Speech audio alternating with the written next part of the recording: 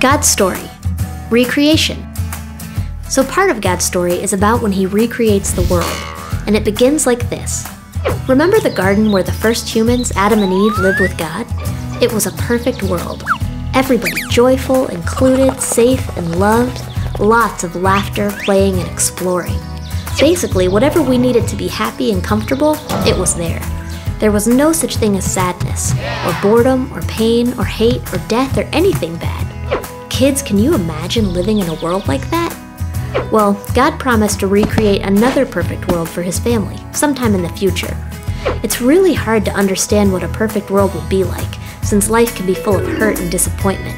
So God told us a little bit about it in the Bible, and even sent His angel to visit a man named John and show him, so John could write it down for us. We still can't picture it exactly, but God wants us to try to imagine it, and He wants us to get really, really excited. See, here's what the angel showed John Jesus on a throne, a perfect king in a place with no hunger, no crime, no war, and millions of angels saying blessing and honor and glory and power belong to the one sitting on the throne. Everybody was excited about this king. John also saw a city coming down from heaven, bright with God's glory and sparkling with precious jewels like glitter. We don't know exactly how bright God's glory is, but it probably makes the sunniest day look cloudy. Don't worry though, you can't get a sunburn in the new world, partly because we might not need sun with God's glory, but also because there will be no pain. Anyway, this city had a wall with 12 pearl gates guarded by 12 angels. The wall was made of white jasper, and the city was pure gold, gold like glass. A crystal clear river will flow straight from the throne of God with water we can scoop up and drink whenever we want. And the water is special. When we drink it, we'll live forever. In fact, no people, animals, or plants will ever die in the new world. Now, you may wonder what happens to all the people throughout history who chose to be in God's family but died before He recreated the world. Well, they'll come back to life and live forever in the perfect world, too. And God promised us other stuff. For starters, He'll wipe away the tears from our eyes. He'll give us new bodies that don't hurt anywhere and don't get sick. There won't be any fear.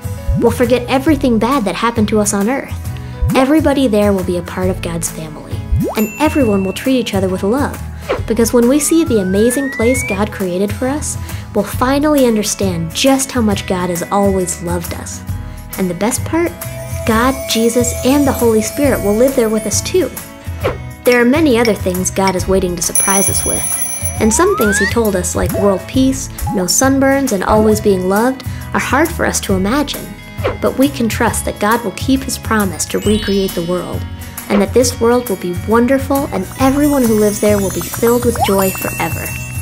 And that's the story of recreation. So, in case you missed it, here's the quick version. The world used to be perfect. Now it's not.